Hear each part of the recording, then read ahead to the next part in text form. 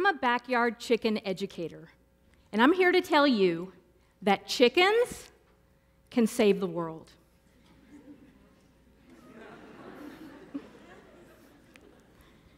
It's extraordinary how much the chicken is intertwined into our experience as human beings. I mean, can you even remember a time when you didn't know about chickens? Chicken might have been one of your very first words. The first toy you ever played with likely had a chicken on it, was a chicken stuffy, or made some variation of a cluck, a bawk, or a cock-a-doodle doo.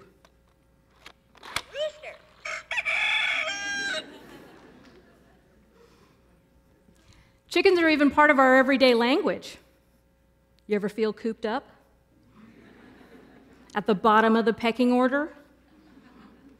Maybe one day you got a little wild and actually flew the coop, and someone was like, hey man, don't put all your eggs in one basket. And you were like, you know what?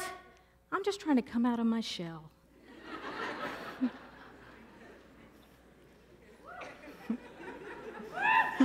Chickens.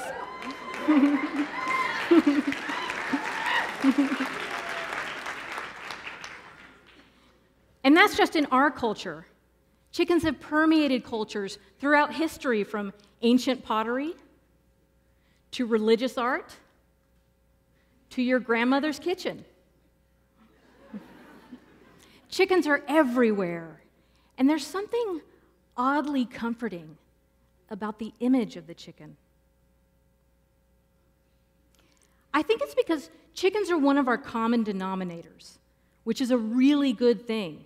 Because right now, when we're so divided, we kind of need all the common denominators we can get. With over 25 billion chickens existing in the world, maybe taking a look at how they've basically managed to make themselves a part of all of our lives, we could find the humanity in each other. So, let's start at the beginning. Long, long ago, in the jungles of Asia, there lived a bird with striking plumage and an assertive personality. This bird was called red jungle fowl. And it still exists today. It's mainly from this bird that we believe the domestic chicken came to be, but we're not exactly sure where that domestication originated. It was likely somewhere in Southeast Asia, anywhere from 7 to 10,000 years ago, but it's also thought that there may have been several locations of origination, which is really cool because it's like everybody had this awesome idea about chickens at the same time. Regardless of exactly where and when it started, one thing we do know is we've been in this chicken game a long time. The original domestic chicken was smaller than your standard sized hens of today, but make no mistake, these little bitties had T Rex ancestry. Scary. Which you would know if you've ever seen a modern day hen go after a lizard. It's not pretty. This whole idea that chickens are these docile vegetarians, it's so not true. In fact, I heard of a guy that actually put an entire deer carcass in his chicken coop and they picked it clean in one day. It's for this reason that I advise people do not somehow lose a finger in the chicken coop. You're never going to see it again. And please, please don't get drunk and pass out in the chicken coop. You do not want to go out like that.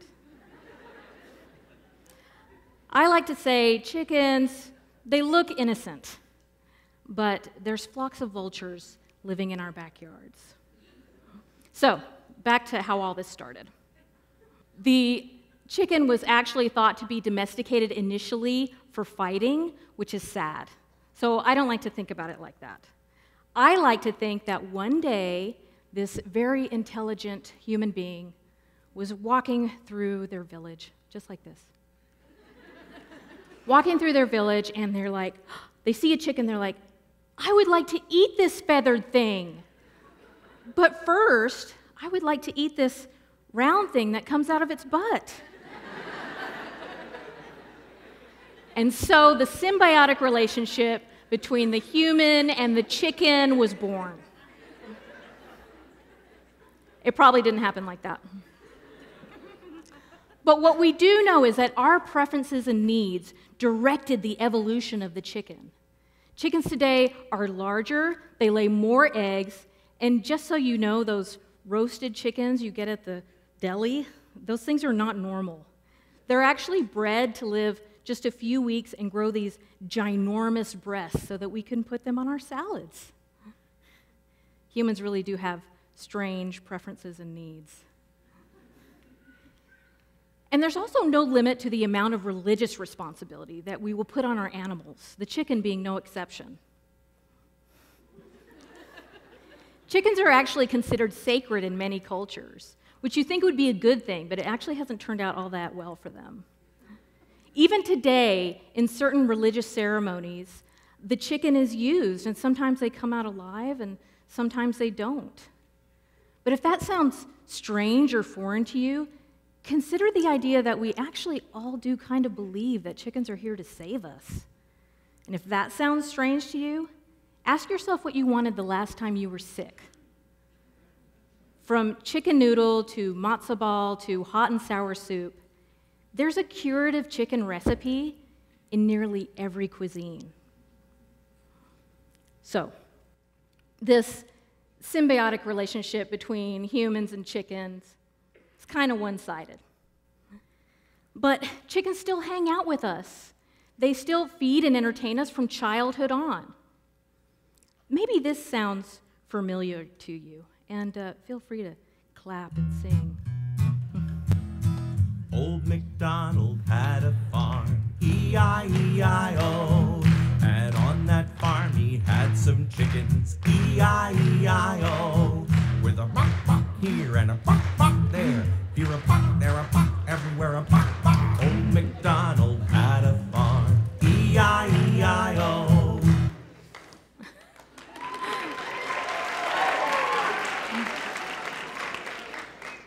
Isn't that comforting?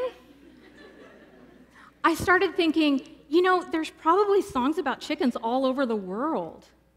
So I did a little internet search and I actually found the chicken song. It's from Syria.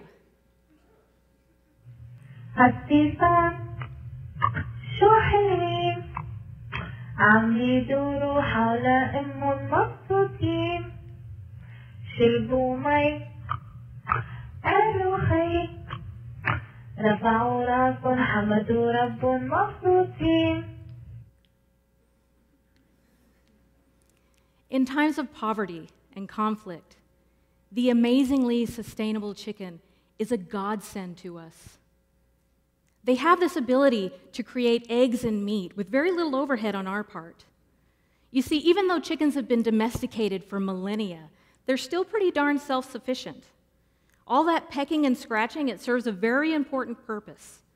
Chickens are always looking for food, and they almost always come home to roost, which makes it easy to keep them safe and nearby. I have chickens of various sizes, and sometimes I'll see my tiniest one asleep under the wing of a bigger one. It's heartwarming, really.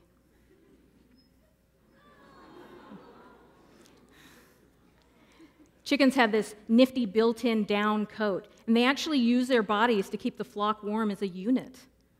In their DNA is a knowledge that to survive as a species, they have to take care of each other, even in the coldest of nights. We could probably take a cue from them on that one. Because even though there's hundreds of different physical characteristics over all the different chicken breeds, they still almost always find a way to roost together. But I don't want to fool you into thinking chickens are always nice and sweet to each other. They're not. In fact, if a chicken spots weakness in the flock, they can be absolutely brutal. If they see the color red, they will peck it incessantly. Just think about what that could mean for a chicken that might be injured and possibly bleeding. Or what it could mean for you if you happen to stroll into the chicken coop with open toed shoes and red toenail polish. Let's just say chickens are 80% sweet and 20% savage. kind of like us. But we humans, we love them. We love them, and a lot of us across the world, we try to take good care of them. When they're not being cared for, like most things, it usually has to do with greed. But there will always be those that care. We care not because of what we think we know about the chicken's nature, but because of what we desperately need to remain true in ours. You know, one thing I didn't know about chickens, and it was very surprising to me, is the peace I feel when I'm among my flock. I can be stressed out or worried about something, and I go out into my chicken yard, and magically, those feelings are lifted. And I'm not alone in this experience. There are so many people that I've met on this journey that can attest to this. And these are people that I thought I was so different from. We could be so different politically, socially, even spiritually. But we share the peace of chickens. People all over the world are experiencing this peace. Right now, there's somebody across the ocean, seemingly so far away, sitting among our common denominator, feeling peace. You see, we humans, we're really not so different.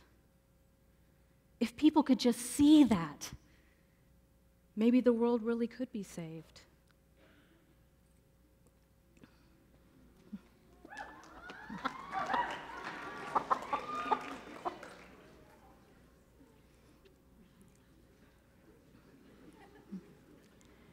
At the very least, I hope you never look at chickens the same. These ancient T Rex descendants have taken all that humanity can throw at them, and they're still a crucial part of our lives. They can be amazing caregivers and protectors of each other, and in their nature is a sometimes necessary brutality that we can seek to understand and try not to emulate. From what the chicken does and doesn't do, we can learn how to be more human.